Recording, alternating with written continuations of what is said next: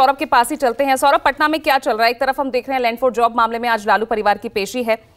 एक ही गाड़ी में निकल भी चुके हैं कोर्ट के लिए। लेकिन दूसरी तरफ़ जो बिहार की सियासत को लेकर 12 तारीख को बहुमत का जो खेला शुरू हुआ है, बहुमत साबित करने से पहले, क्योंकि इससे पहले तो महागठबंधन की तरफ़ से विधायकों की घेरेबंदी की जा रही है। कांग्रेस की तरफ़ से खबरें आ रही थी 16 विधायक हैदराबाद भेज दिए गए हैं। लेकिन अब यही डर यहाँ बीजेपी, जेडीयू को सताने लगा है।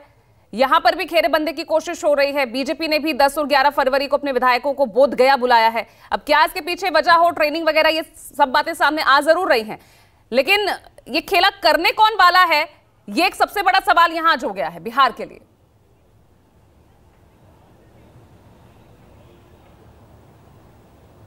जी बिल्कुल पूजा, जिस वक्त नीतीश कुमार ने गठबंधन बदला था और वो एनडीए के साथ और बीजेपी के साथ उन्होंने एक बार फिर से नई सरकार बनाई थी, उसी वक्त तेजस्वी यादव का एक बयान आया था कि खेला अभी बाकी है। यानी उन्हें पहले से पता था कि आने वाले समय में क्या हो सकता है। निश्चित तौर पर 12 फरवरी को जो विश्वास मत हासिल करने वाली है नीतीश कुमार की सरकार, उस पर अभी भी संचय बनी हुई है। कारण पहले ऐसा कहा जा रहा था कि करीब 17 से 18 ऐसे जदयू के विधायक हैं, जो अपने नेता के संपर्क में नहीं हैं, और उन्होंने अपना मोबाइल बंद कर लिया है, और वो आउट ऑफ़ रीच है। लेकिन कल जिस तरीके से बिहार सरकार के मंत्री सरवन कुमार ने कहा कि हमारे कोई भी विधायक आउट ऑफ़ नेटवर्क नहीं है, सभी नेटवर्क के एरिया के अंदर हैं और एक साथ है। तो निश्चित तौर पर अब बीजेपी और जदयू के तरफ़ से भी अपने विधायकों को एकजुट करने की जो कवायद है, वह शुरू हो गई है।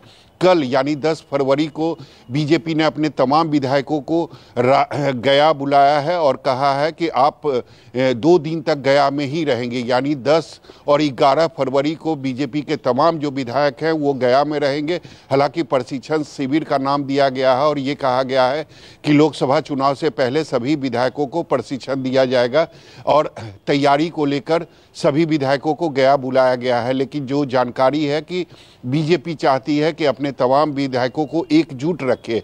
इसीलिए सभी विधायकों को कल 10 फरवरी को गया बुलाया गया है और ये 12 फरवरी को, यानी बीजेपी के जो तमाम 78 विधायक है, ये 12 फरवरी को सीधा गया से विधानसभा पहुँचेंगे और जहाँ पर विश्वास मत हासिल करना है एनडीए की सरकार को।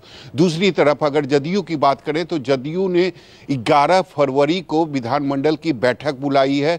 विजय चौधरी के घर पे यह बैठक शाम में पाँच बजे बुलाई गई है, क्योंकि एक दिन पहले, यानी विश्वास मत के एक दिन पहले जदयू यह देखना चाहती है कि हमारे विधायक एकजुट हैं, एक साथ हैं और निश्चित तौर पर 11 को शाम पाँच बजे ही पता चल जाएगा कि क्या सच में जदयू की कोई जदयू का कोई विधायक आउट ऑफ़ नेटवर्क है या आउट ऑफ़ रीच है। लेकिन दूसरी तरफ़ अगर कांग्रेस की बात करें तो कांग्रेस ने पहले ही यानी तीन दिन पहले ही कांग्रेस ने अपने 16 विधायकों को हैदराबाद भेज दिया है और सारे विधायकों को यह निर्देश दिया गया है कि वो विश्वास मत से एक दिन पहले वो पटना आएँगे और विश्वास मत में शामिल होंगे। तो निश्चित तौर पर तोड़ जोड़ की जो राजनीति है, वह बिहार में एक बार शुरू हो चुकी है। सभी दल अपने विधायकों को एकजुट रखने की जो कवायद है, उसमें लग चुके हैं, चाहे बीजेपी हो, जदयू हो या फिर कांग्रेस हो।